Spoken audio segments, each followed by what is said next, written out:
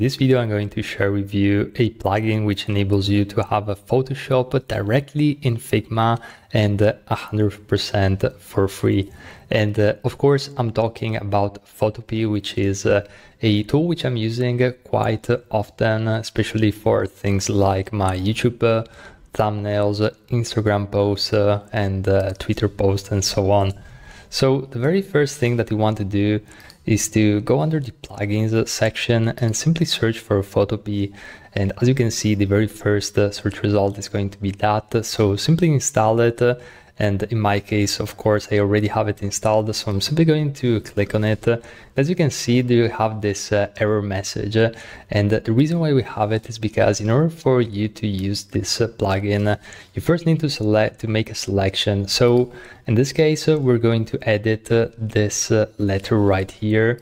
So I'm going to click under the plugins again, uh, Photopea, and as you can see, it loads up a very familiar user interface uh, for those of you who are already familiar with uh, Photoshop, simply because it's uh, almost uh, a carbon copy. There's almost zero learning curve if uh, you already know how to use Photoshop.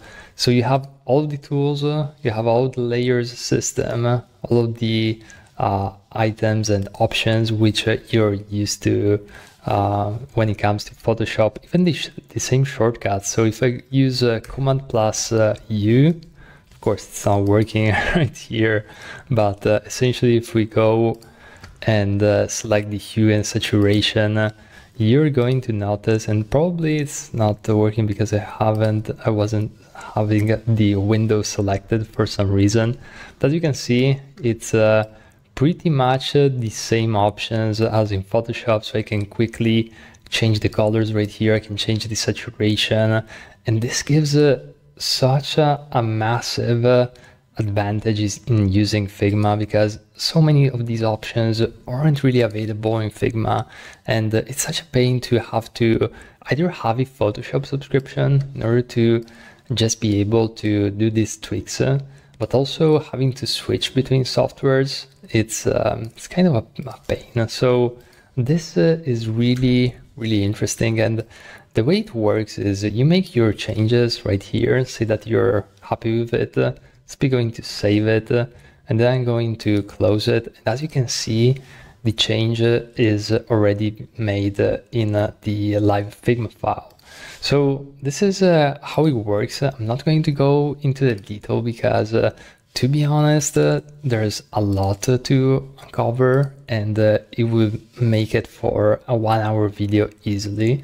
So my best recommendation is to just search uh, a video on the basics of Photoshop uh, and uh, you're pretty much going to, to nail all of the um, all of the tools because uh, for the very most part, you know, the cropping tool is the same, the uh, lasso tools, of course, which enable you to, to select a specific region.